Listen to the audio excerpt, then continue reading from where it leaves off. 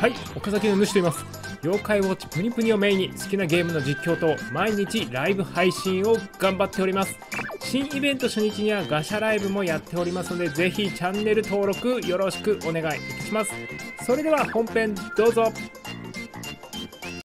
はい日付が変わりました。本日1月16日最終日となっております。ということはお知らせ更新シルエット確認。妖魔人剣王ゴッドユニオンウォッチ何これ？うーおー。何これ？何これ？ゴッドユニオンウォッチだって。新しいウォッチ登場した。さあということでえー、新イベント妖魔人でございます。はい。妖魔人は決定いたしました。さあ妖魔人はどうなんだって感じだけど、このウォッチがちょっと気になるな。ウォッチってどういうこと？妖魔人のウォッチはさ、ユニオンウォッチもあるのに、ゴッドユニオンウォッチ。ただユニオンウォッチってさ、あれなんだよね。えっ、ー、と、こう、勇まし特攻なので、これ豪傑特攻になるのかな？豪傑特攻とかそういう感じ？もしかして。ちょっと変わった感じで来るかな。破壊されたはずのケメラウォッチ、剣王が手にした新たな力とはということで、ちょっと画像の方をちょっと今ダウンロードしているので、ちょっと待ってください。えー、っと、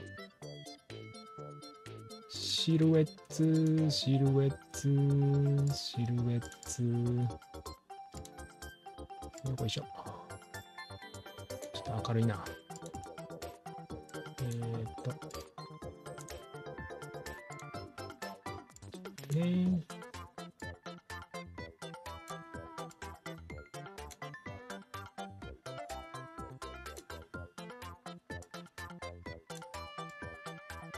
難しいね。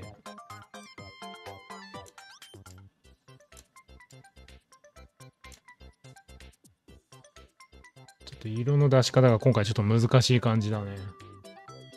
なかなかいい感じで出てこないけど、まあこんな感じで、どうです？なんとなく見える？あれちょっと、これまでの妖魔人キャラが全員集合な感じじゃない？これ。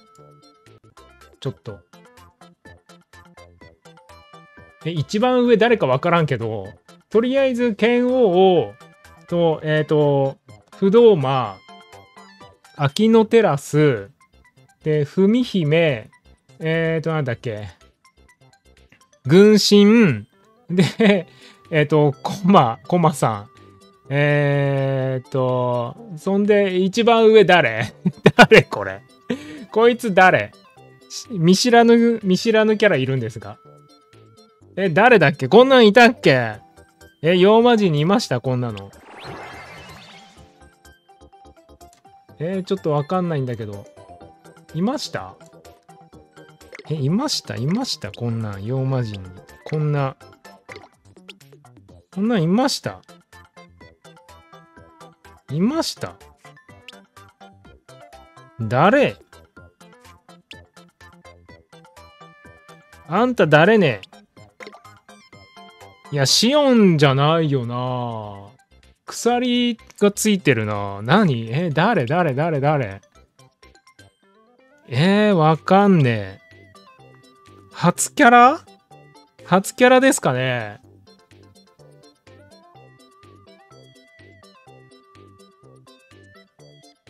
初キャラっぽいような、なんか見たことあるような、うーん、わからん。記憶にございません。新キャラだよね。いやー、いいじゃないの、新キャラ。いや、久しぶりにかっこいいキャラじゃない？そうなると。かっこいいキャラ？いや、不動ライザー、そうね、そうね。ああ、不動ライザーっぽいね。はいはいはいはい。確かに。ただ、鎖がちょっとね、なんか、うーんって感じだけど、不動ライザー、いやー、ちょっと、それ紫と、紫っていうか、ピンク紫っていう感じだからでしょ？いや、違う。不動ライザーじゃねえな。全然違うな。不動ライザーっぽくねえな。もっと違う。もっと違う。うん。いや、何系だ？豪傑勇まし系な感じはするけどな。妖魔人、まあ、うん、新キャラだよな。絶対新キャラだよな。え、追加夏読み ?1、2、3、4、5、6、7、7人か。そうだね。新キャラそんな感じになるか。新キャラっていうか追加キャラね。いやー、いいですね。いや、ちょっと、ウォッチも来るし、ということは、武道会？ゲート、ゲートもウォッチはあったか。つい、ゲートで、ゲートでウォッチ揃えるもあったか。じゃあ、ゲートの可能性もあるし、武道会の可能性もあるしって両方あるのか。ねいや、これでさすがにレースはねえだろ。こんなかっこいいキャラクターたちを出しておいて、こんなかっこいいの出しといて、さすがにレースはねえだろ。そしてなぜコマさんがいるって感じだよね。コマさんだけで何って感じしない？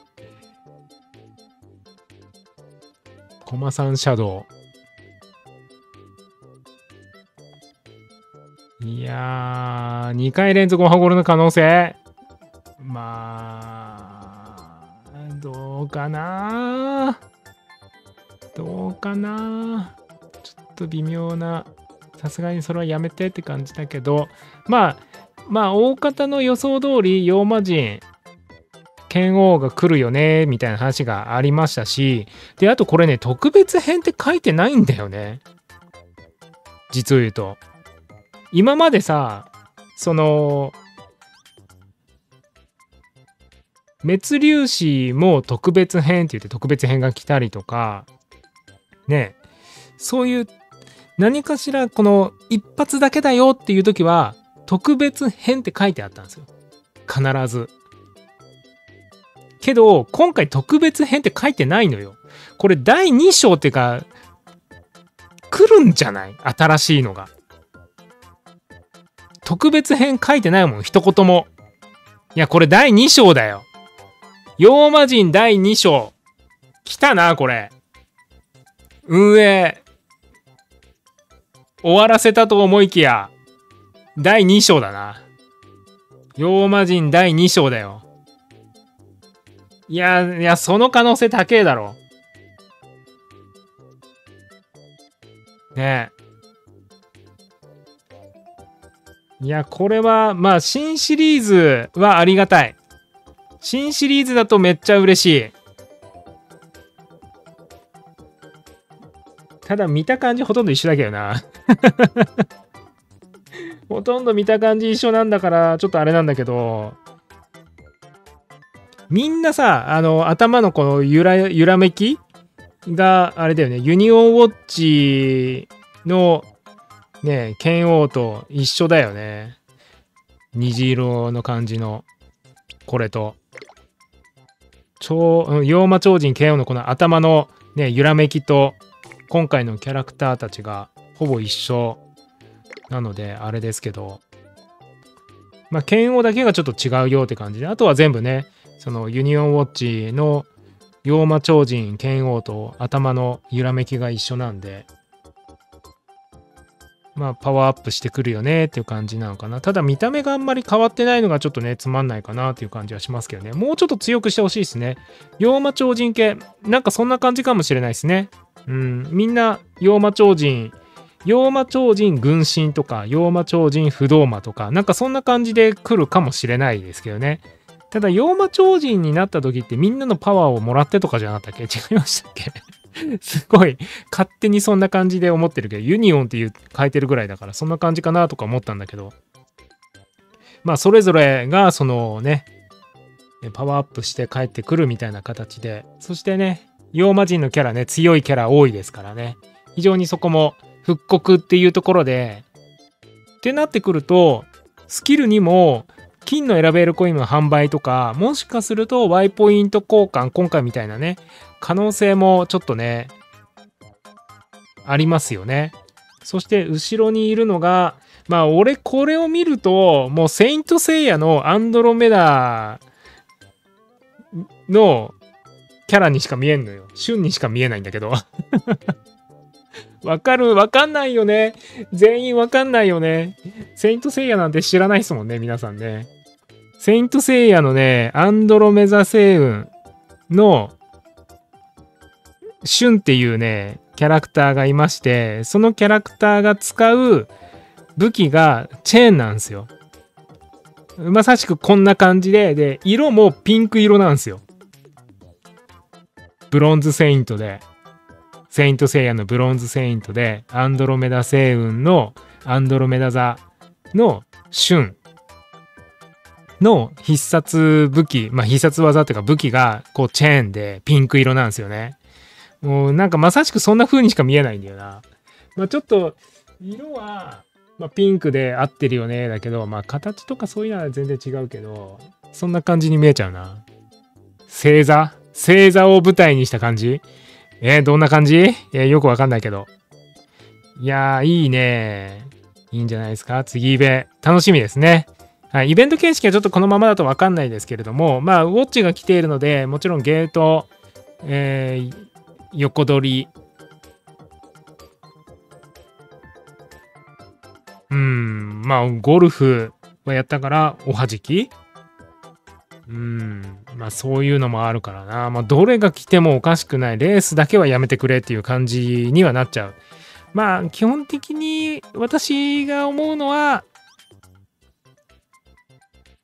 ゲートかな？ここでゲートが来てほしいな。もう一度ゲートで、ちょっと来てほしいなっていう感じかな。はい。